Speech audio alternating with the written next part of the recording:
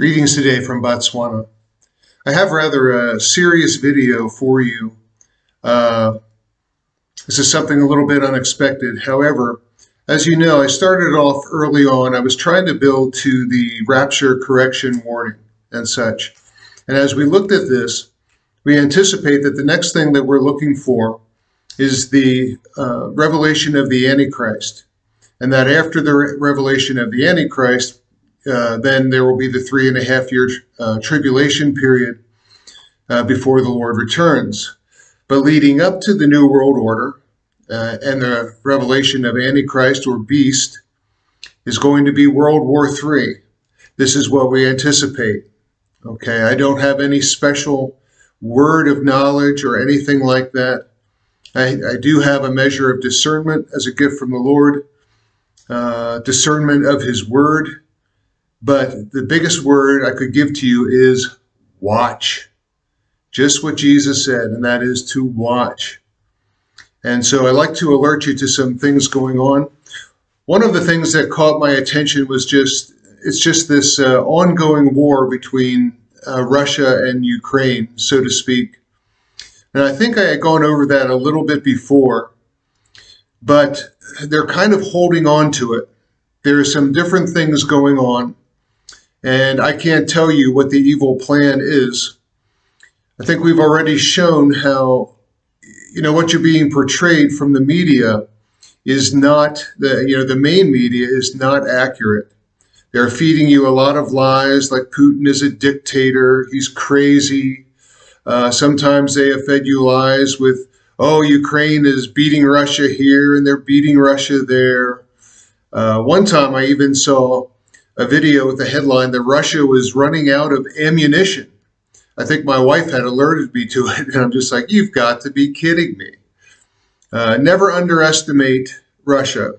Russia's military is every bit on par with that of America's military. Uh, so anyway, we just want to look at this a little bit.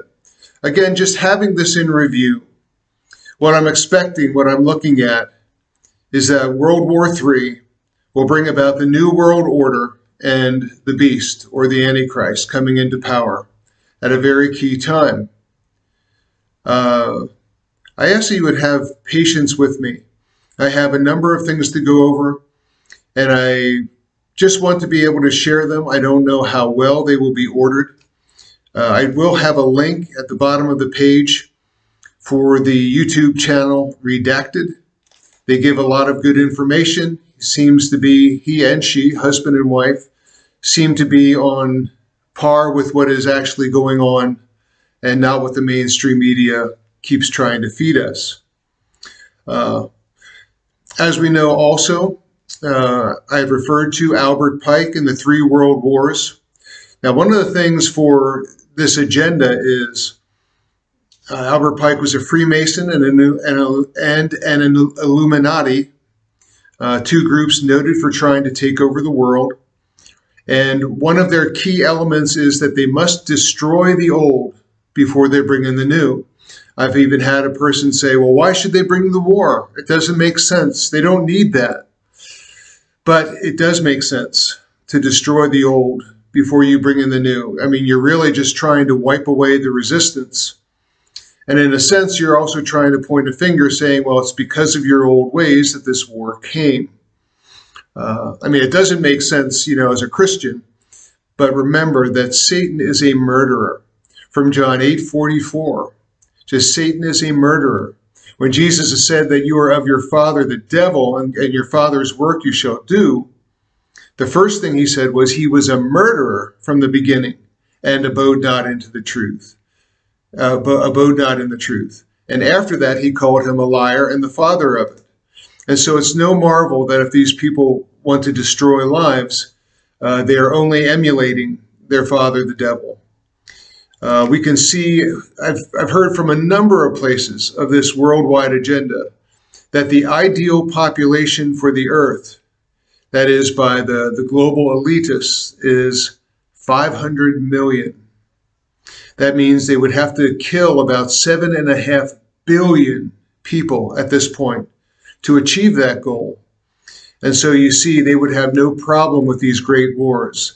The Bible shows that, you know, if I am correct in my in my looking at prophecy from Revelation 9, 13 through 19, it shows that in this war, one third of mankind will be killed.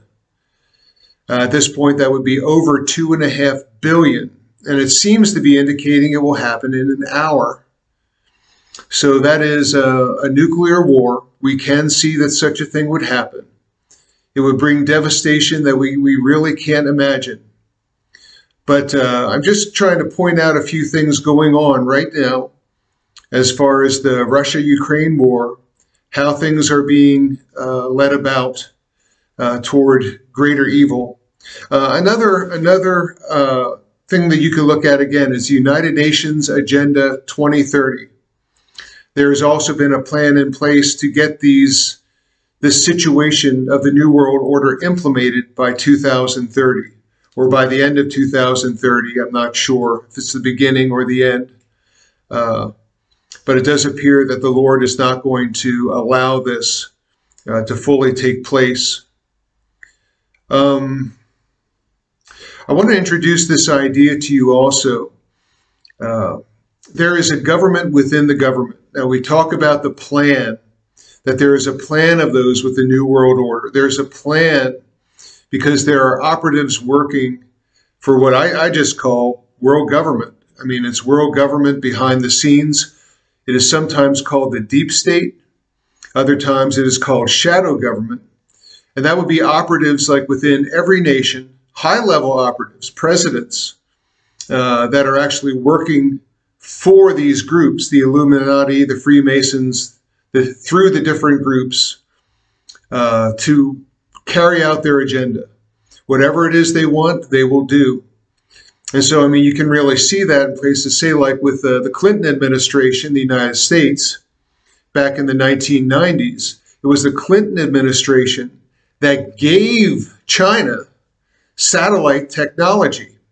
And within, I think it was like three or four months, China boasted that they then had a ballistic missile that could hit the United States. So you see, they're all playing playing it together. China had to be elevated, okay? and the U.S. had to be lowered because, as you remember, in the early 1990s, the Soviet Union collapsed and there was only one superpower left, and that was America. But you have to remember this about destroying the old and bringing in the new. There can be no strong nations left. There can't be a strong nation left to oppose things and stand on its own. It has to be that all the countries really need one another or they can't make it. And so, in this way, what I see in World War III, though some may say, you know, some would say, well, I think America is superior. Others would say, well, I don't know, China is pretty, pretty strong. They're coming on. I myself don't see that any nation, well, you can't win a nuclear war anyway, but I don't see that there will be any particularly strong nations left. There will still be nations that the world government uses, but everyone has to be brought pretty low and onto an even playing field. That's the way I see it. And so I'm introducing this idea of the deep state shadow government on on my channel here. Not that it is it is new. I mean, this has been around, been talked about like this for for decades. I'm not even sure how long. Uh, you have to remember also that this central banking system is how the Illuminati and Freemasons have taken over the world. Uh, sometimes there is a, I think there is a book called uh, The Council of 300. It's about how 300 wealthy families truly control the world through this central banking system. They are the ones that create depressions, they start wars. They also will tell you, because they control the media, they will tell you when there is a dread disease that you have to stay hidden in your home for and let them do some needlework on you. They will tell you that too. The, the uh, leaders of the world are under their control also. It all comes down to money. Remember that the love of money is the root of all evil. And these are in power and they have a lot of money, and those also working for them uh, will be seduced by money. Remember, I'm saying it is not 300 people, but 300 families of people, and that could be a very, very broad range. You know, if you get down into uh, cousins, second cousins, nieces, great grandparents, I mean, you have no idea. But even so, it would be relatively few compared to the a country's population, let alone anything else. Uh, what you see from presidents in America, you also see that they will be part of one of these groups, if not all three. That is the Trilateral Commission, the Council on Foreign Relations, and the Bilderberger Group. Now, the Bilderberger Group, that's the group that controls the media, and they control it worldwide. It's not just in America, but it's everywhere. Uh, thankfully, we still have a good bit of access over the internet to uh, to getting the truth, but you have to dig for it. But when you see station after station after station just reporting the same things, Russia's getting beaten on in Ukraine. Oh, Russia's running out of bullets. Oh, Putin is like Hitler. You know, you see when you see station after station after station reporting this, you know they have been given an agenda from who is in charge of them. And that's how you have to dig for the truth. As we know with the Russia Ukraine war, we know that America toppled the, toppled the government in Ukraine in 2014. And since that time, it has been building. It's been building up NATO and it has wanted to make Ukraine a member of NATO and to put arms in Ukraine so that it would be in striking distance, short striking distance of Moscow. And this is the thing that Russia really opposed. They saw it coming. They've been opposing it for years. And America has just kept pressing ahead with it.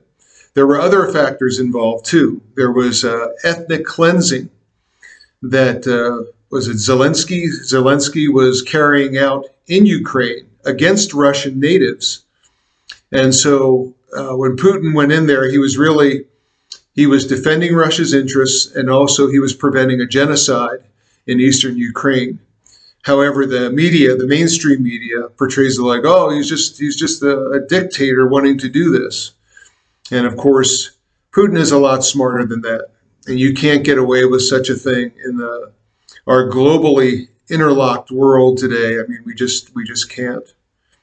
Some of these things with the Russia-Ukraine war, okay, I just reviewed the underlying underlying cause, is uh, we look at it somewhat why would Russia use old weapons?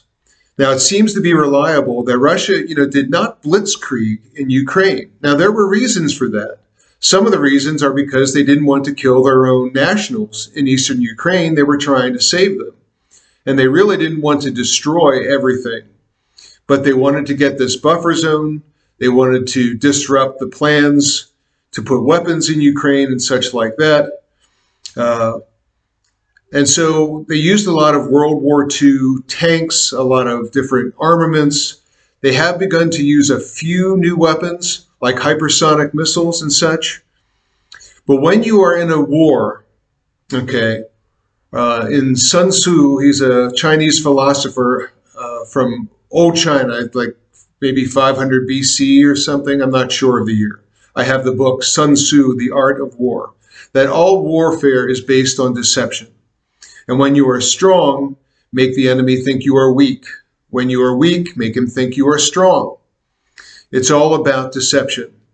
And this is what Russia has done to an extent.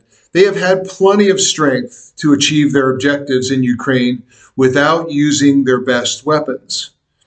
And that's so that America won't know what Russia has up its sleeve uh, when the time comes for the greater war. And instead, Russia has been carefully, uh, they've been intercepting, I don't know how to say it. They have been monitoring all the things that America and its allies do. They have been funneling the information to China also. China and Russia are allies and they are in it together.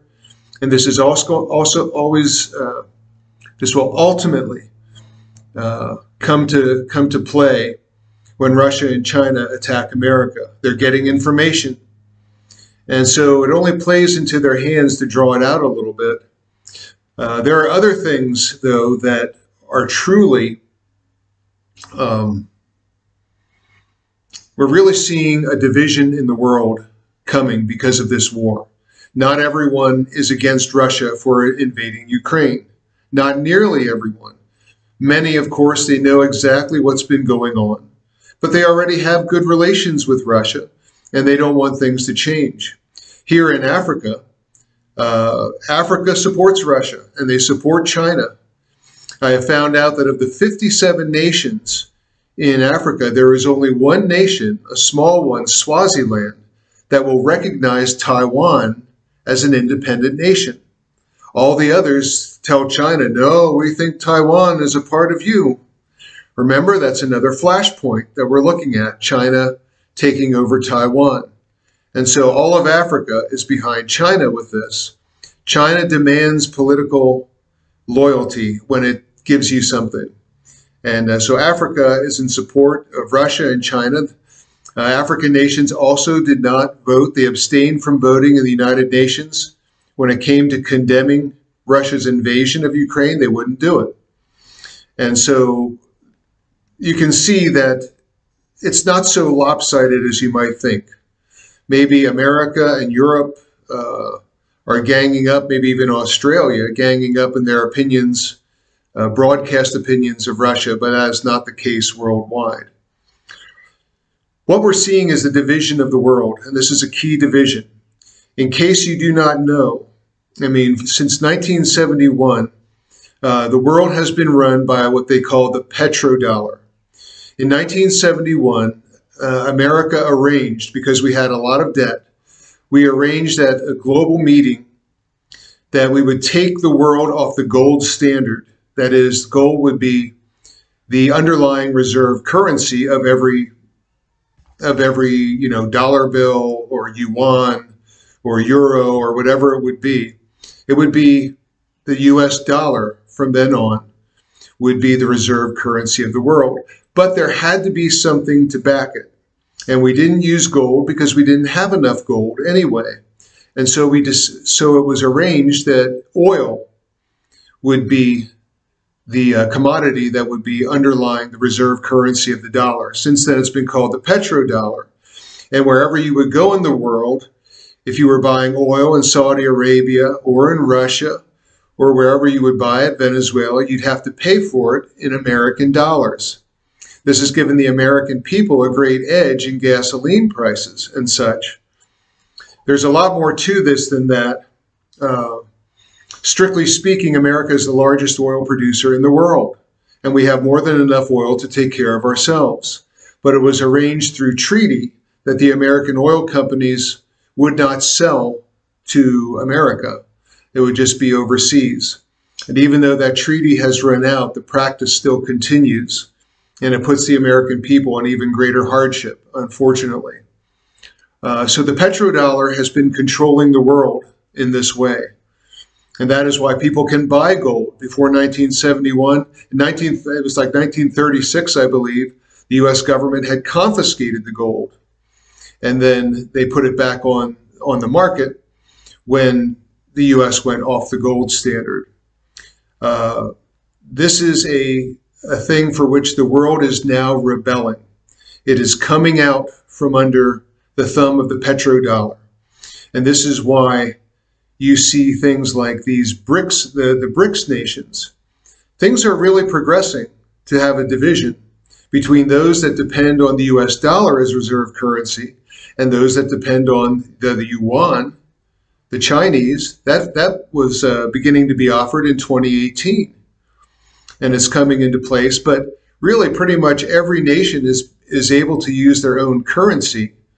But now they, they are kind of stepping out let me tell you why they're stepping out. Okay, they're stepping out because America is a bully.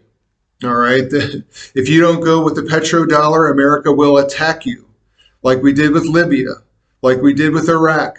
Those were the underlying reasons. Please don't think any of the other contrived reasons. Oh, oh, there is uh, Al Qaeda, you know, working all these terrible things in Libya against the people, and and uh, Gaddafi is behind it, or oh, there's weapons of mass destruction. Don't believe it. It was all about the petrodollar and money. And because those countries were refusing to go along with the system, and they were taken out. The problem is with Russia, you don't just take out Russia like you took out Libya or, or Iraq. Uh, unfortunately, millions of lives have been destroyed. But you can see this. You can see that the United States has become a great military empire.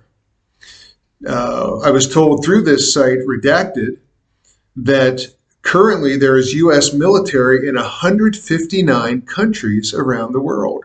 The last I had known a couple years before it was 132. Now it is 159. There's only about 200 countries in the world. If that's not an empire, I don't know what is. There also there was also a tally of 750 U.S. military bases offshore around the world. Now, some of these bases are very small. They're more or less just small landing strips, maybe for supplies, but the number is 750. And so you can see this is a big breach. And we see things like this organization of the BRICS nation, uh, which is Brazil, Russia, India, China, and South Africa. This is all part of the Belt and Road Initiative done by China, which is a, a source of trading around the world. You can see this like Brazil, South Africa, uh, China. You can see how the, the dots are, are kind of connected country to country. And it is these BRICS, BRICS nations that have definitely made a break uh, with the petrodollar, or they are in the process of breaking right now. And this is going to lead to war. It's not going to happen quietly. Unfortunately, this is, you know, America is not going to go down per se without a fight, even though we have been destroying nations around the world, you know, for over a hundred years. There was another uh, article I saw on a site saying how, and I know it's true, documenting, documenting that in Latin America alone, we've overthrown 41 governments in like about 120 years since like 1890 something. And it's absolutely true. And it makes me ashamed uh, to be an American. And so you see these BRICS nations are in the process of truly breaking with the petrodollar. And again, don't forget Iraq and Libya, they were not destroyed for any humanitarian uh, reasons or anything like that. Uh, so it's shifting. So I also just wanted to tell you, of course, this is a war, we've said, if it is following this from, from, uh, from Revelation chapter 9, uh, that is going to destroy over two and a half billion people really quickly. Now, I don't know when this war will be. Again, I say that if things fell in order biblically, uh, it would not quite be time yet. And that is, there's an order of seven trumpets going on in Revelation 8 and 9.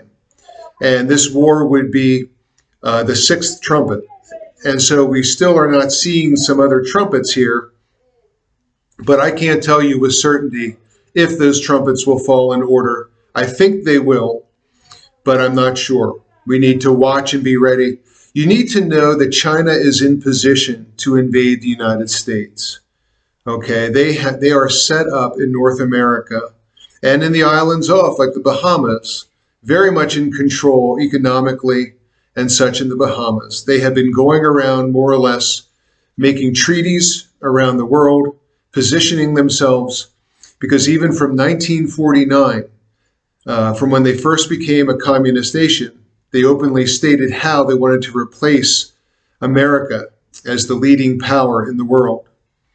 Unfortunately, it's all going to go down with a war.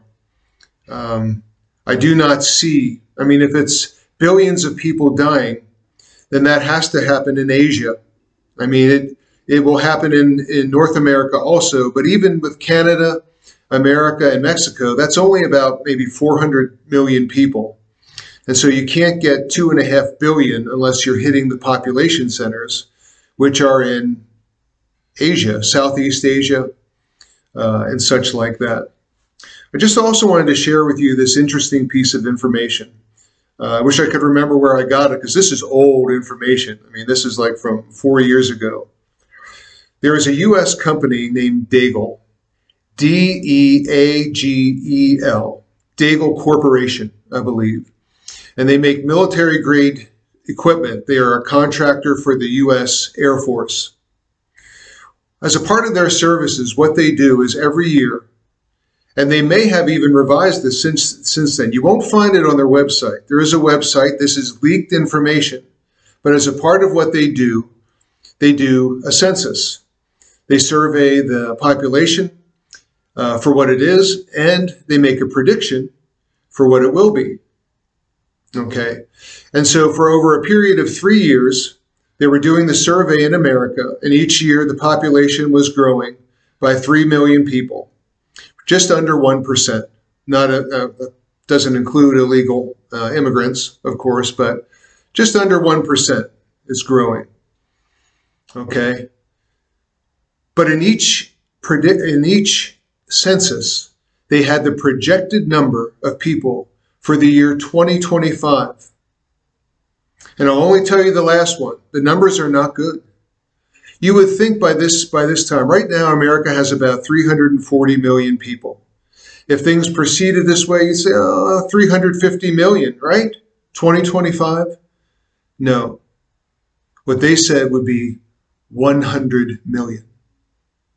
That the population of America would be cut by like 70% or so.